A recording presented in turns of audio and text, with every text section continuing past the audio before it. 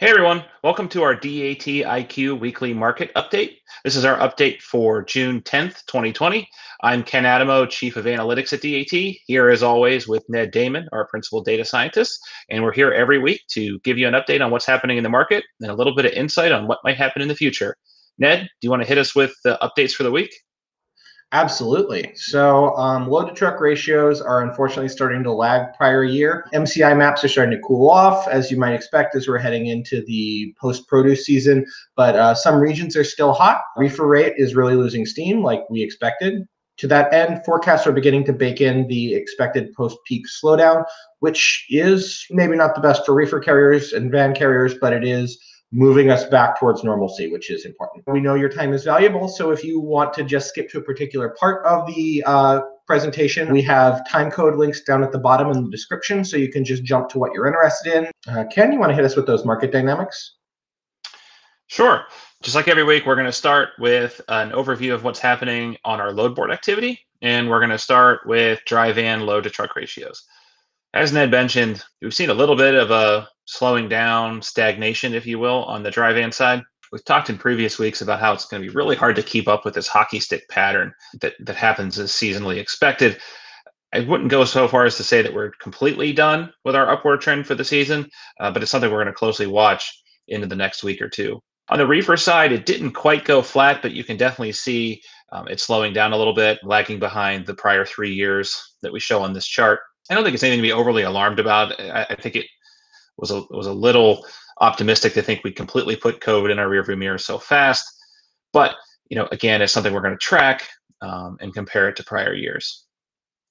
Looking at MCI for dry vans, we pulled this yesterday. You can see concentrated areas of red that have remained from prior weeks are still there. We're just seeing a little bit of a general cooling off, especially in the California area. Um, we do still see a, a nice nexus of, of heat in South Texas, Louisiana. Not really sure how much of that is um, result of the tropical storm that, that blew through there, but um, again, it's still nice to see shades of red. On the reefer side, still a lot of red, but uh, some of the areas that in previous weeks were kind of a deep red have cooled off to more of a, a pinkish or salmon tone, indicating that markets are softening up a little bit. And again, that doesn't necessarily mean that demand has dropped, it could just mean that capacity has entered the market to balance out um, the, the amount of demand that's there. On the spot rate trend side, as always, we're going to start with dry vans. We're seeing very much toeing the line that we saw in 17 and 19. Those lines don't materially diverge for another 80 to 100 days. Um, so we, we really are going to probably settle into that trough um, but we haven't seen it materially lag behind either of those two years, which is good. And at this point, we're soundly above where we were pre COVID levels. If you look at the year over year comparison, we are starting to see some very early signs of lagging behind prior year. Um, that'll be something to watch. It could just be an artifact like when we pull the data or just some very recent rates coming in lower. But again, something to watch to see where the trend continues. Does it continue up closer to a dollar sixty or where it's sitting at a dollar fifty five? Reefer side, this is definitely flattened, much more pronounced than on the dry van side, but still very much in line with uh, 17 and 19, which we had been tracking towards, and above where we were pre-COVID. If you look at the week or the year-over-year chart here, um, you can see it's, it's really just middling about where we were in the prior year, not really breaking out above or below in either direction. So I think looking at history here, it's very interesting, but probably what everyone watching is most interested in what's going to happen over the next few weeks. So I'm going to turn it over to Ned to talk about our forecast models. Uh, thank you, Ken. So our forecast models are, uh, as always, presented in the form of everyone's favorite dinner, a spaghetti chart. Uh, you can see in blue the actual uh, spot rates for van that were observed by DAT up through 6.9. And then off to the right, you can see our four strands of spaghetti corresponding to the rate cast model in green, the short-term model in red, and two blendings of them, our blended forecast one in gold and our blended forecast two in gray. The rate cast model is our flagship model. The short-term model is much more heavily dominated by short-term dynamics and the blended forecasts are a mixture of the two. And you can see here there's a really big divergence in the models between the short term and the ratecast model, where the ratecast model is expecting that seasonal trends are going to reassert themselves and that we're going to peak uh, around July 4th, and that's where that little kind of nubbin is in a lot of the forecasts, and then start trending back down as per normal seasonal behavior. Whereas the short term model is expecting continued strong growth. I really feel like we're moving back to normalcy, and I expect that the RateCast model is going to be the most accurate description of what's going to be going on. Maybe with a little bit of the blended forecast, if we're still in a hair of recovery mode, maybe the gray line. But um, I would not expect that rates are going to keep on keeping on up to the peak during restocking. I don't see that happening. Uh, next up, we have our same charts for reefer. Again, the blue is the actual rates that were observed by DAT.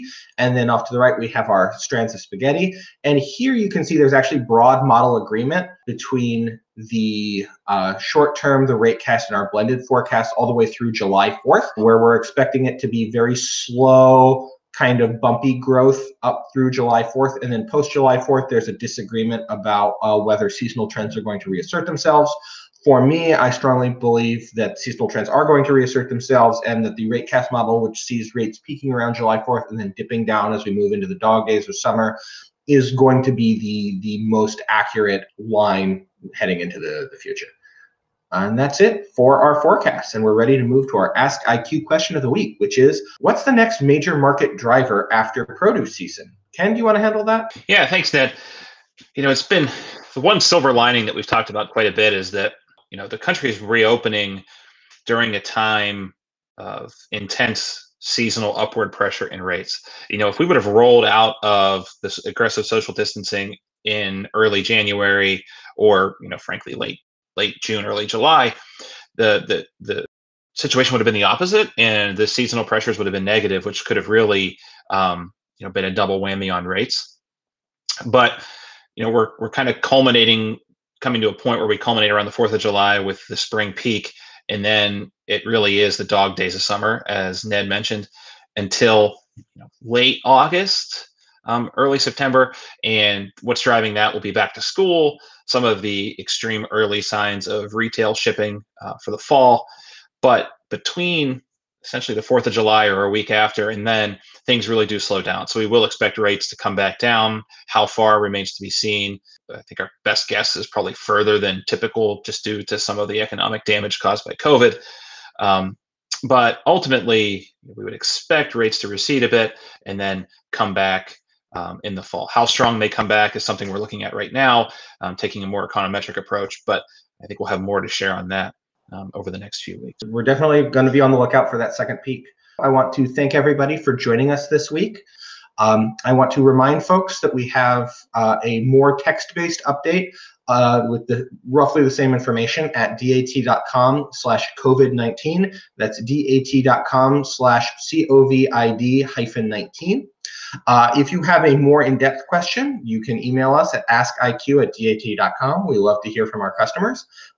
And, you know, just folks who are listening to the show, you don't have to be a DAT customer. We are also offering our top 50 lanes report for free. If you email us at our Ask IQ inbox and request it, we will give you the top 50 uh, freight spot lanes with short-term historicals and short-term forecasts to help give a little bit of context in this still unsettled time.